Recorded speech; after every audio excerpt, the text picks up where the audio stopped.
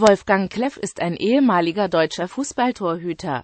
Er gewann mit Borussia Mönchengladbach in den Jahren 1970, 1971, 1975, 1976 und 1977 fünfmal die Deutsche Meisterschaft, 1973 den DFB und 1975 den UEFA-Pokal.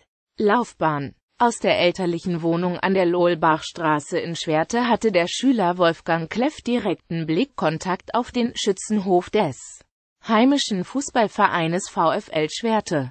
Sein Vater war dort Jugendwart und Sohn Wolfgang durchlief alle Stationen in der Jugendabteilung und machte auch seine ersten Wettkampferfahrungen beim VfL in der Seniorenmannschaft.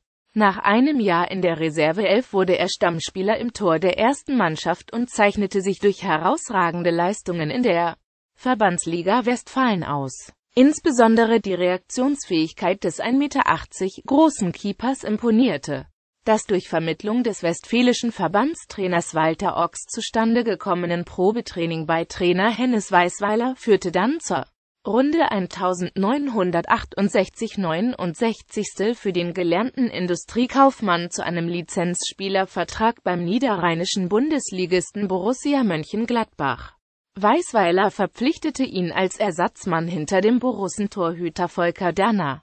Die weiteren Neuzugänge Horst Köppel, Winfried Schäfer, Hartwig Bleidig, Gerd Zimmermann und Heinz Koch sollten für Konkurrenz bei den Feldspielern sorgen. Bleidig, Köppel und Schäfer gehörten 1968-69 der Stammbesetzung an. Kleff brachte es zu neun und Zimmermann zu zwei Einsätzen in ihrem Debütjahr in der Fußball-Bundesliga.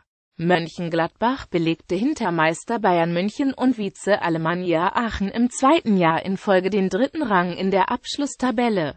Der Mann aus Schwerte, Nachwuchstorhüter Kleff debütierte am 5. Spieltag den 7. September 1968 beim Heimspiel gegen den Tabellenzweiten aus Aachen in der Bundesliga. Stammtorhüter Danner hatte sich beim Aufwärmen verletzt und Kleff kam so überraschend schnell zu seinem ersten Bundesliga-Einsatz. Der Ex-Amateur hatte durch das tägliche harte Profitraining gerade an die 10 Kilogramm verloren. Das Spiel endete 2 zu 2 Remis, Kleff musste danach wieder in das zweite Glied zurückrücken. Fünf Monate später, am 8. Februar 1969 kam er zu seinem zweiten Bundesliga-Einsatz, ausgerechnet wieder gegen Aachen. Ein Fingerzeig für die folgende Runde waren dann Kleffs sechs Spiele am Stück am Rundenende. Tatsächlich wurde er von Trainer Weißweiler ab seinem zweiten Jahr in Gladbach 1969 70. zum Stammtorhüter befördert. Kleff stand in allen 34 Spielen im Tor der Fohlen 11 und die Mannschaft vom Bökelberg feierte mit dem Torverhältnis von 71 zu 29 Toren den erstmaligen Gewinn der deutschen Meisterschaft. Der Torhüterwechsel war zwar nicht der alleinige Garant für die Klasse der Defensive, die Neuzugänge Ludwig Müller und Klaus-Dieter Siluft trugen. In der Innenverteidigung gehörig dazu bei aber ein Baustein zum Erfolg war die mit 2,79 bewertete Spielerbenotung des Torhüters schon.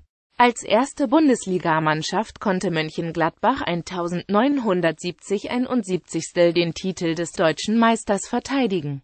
Wiederum hütete Kleff in allen 34 Ligaspielen das Tor des Titelverteidigers. Mit 77 zu 35 Toren und zwei Punkten Vorsprung vor dem FC Bayern München endete die Bundesliga-Saison.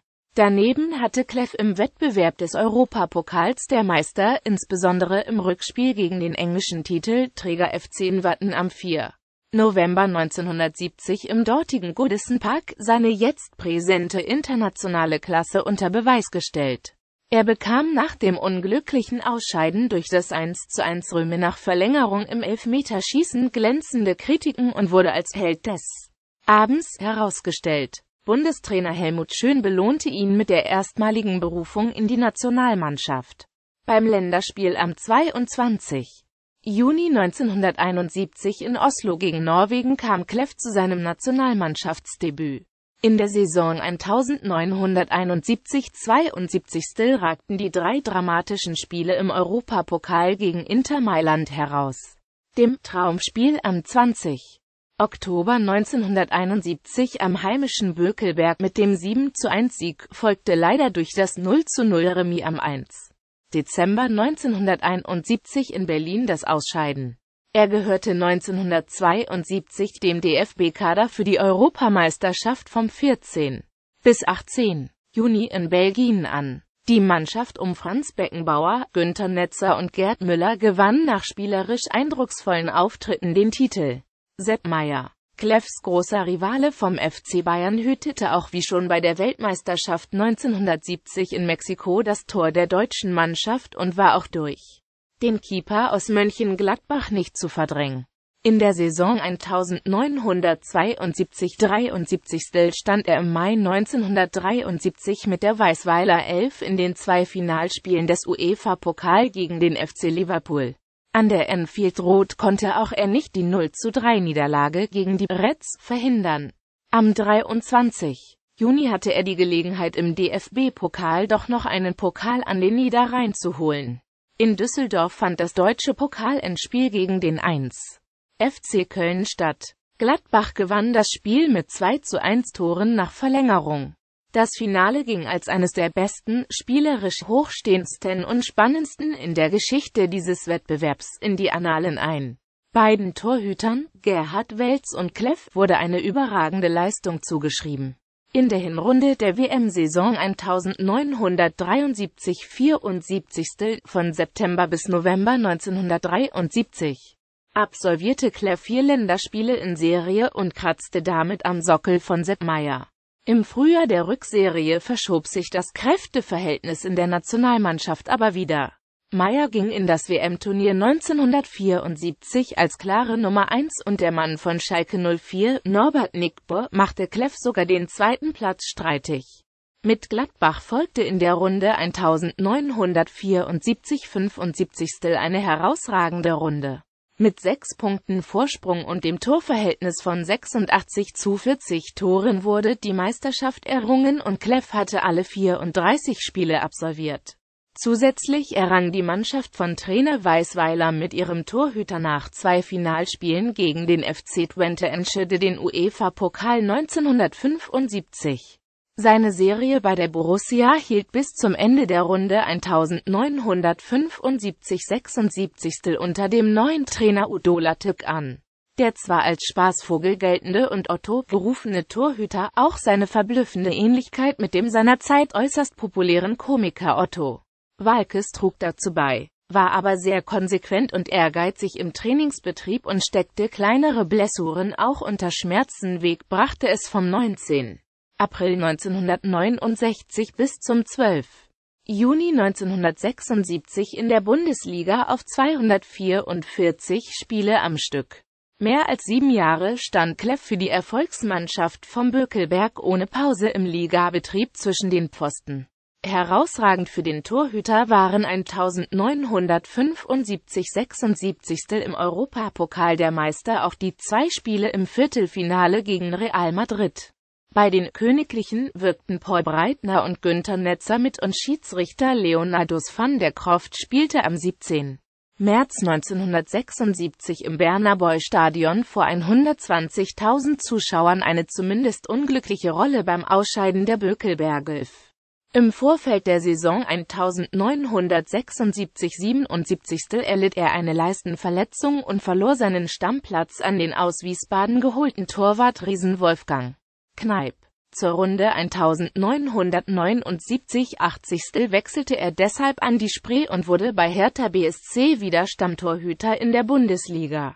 Sein langjähriger Mitspieler Jupp Heynckes holte als Trainer den Routinier 1980 nochmals für zwei Jahre an den Bökelberg zurück und Otto absolvierte in der Runde 1981 82. 34 Einsätze. Nach 321 Bundesliga-Einsätzen, 40 DFB-Pokal und 57 Europacup-Spielen war für Wolfgang Kleff im Sommer 1982 endgültig Schluss in Mönchengladbach. Er beendete seine Karriere aber noch lange nicht. Es schlossen sich noch Bundesliga-Stationen bei Fortuna Düsseldorf und VfL Bochum unterbrochen durch eine Runde in der 2. Bundesliga bei Rot-Weiß Oberhausen an. In Düsseldorf hatte es der Torhüter Oldie mit den Trainern Jörg Berger und Willibert Kremer. Und als er für den verletzten Ralf Zumdick in Bochum einsprang, mit Trainer Rolf Schafstall zu tun. Bochum belegte 1985 86. den neunten Rang und Stürmer Stefan Kunz holte sich mit 22 Treffern die Torjägerkrone. Der knapp 4-0-Jährige sprang nach Bochum sogar nochmals in der 2. Bundesliga beim FSV Salmrohr ein. Am 14. Spieltag den 31.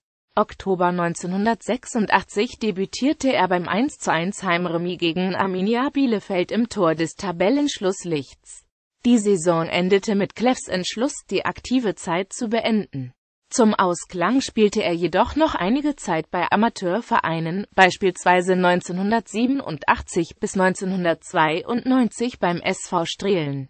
Noch als 5-4-Jähriger stand er im Jahre 2000 als Ersatztorhüter im Kader des damaligen Regionalligisten KFC Uerdingen 05. Am 9. März 2008 spielte Kleff mit 61 Jahren noch einmal 35 Minuten lang für den NRW-Landesligisten FC Rheinbach gegen den TuS Oberpleis. Wolfgang Kleff spielte in seiner Karriere in 433 Bundesligaspielen und 56 Spielen in der zweiten Liga. Heute lebt Kleff in Mönchengladbach-Reit. Erfolge deutscher Fußballmeister 1970, 1971, 1975, 1976, 1977. Deutscher Pokalsieger 1973. UEFA-Pokalsieger 1975. Sonstiges Seine Ähnlichkeit und Freundschaft mit dem deutschen Komiker und Schauspieler Otto Walkes führte zu seinem Spitznamen Otto und mehreren Auftritten in Filmen wie Otto, der Film als Friseurherr Astrid im Jahre 1985 und in Werner, Beinhardt 1990. Wolfgang Kleff betreibt eine Fußballschule im Raum Mönchengladbach.